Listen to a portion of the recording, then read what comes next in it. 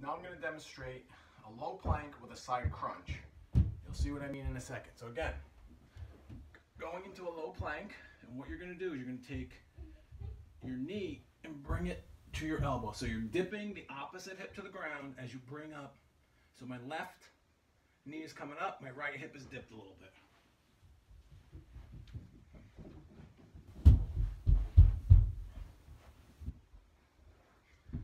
You can see, I don't have quite the flexibility to actually get my knee to my elbow, but I'm trying really hard.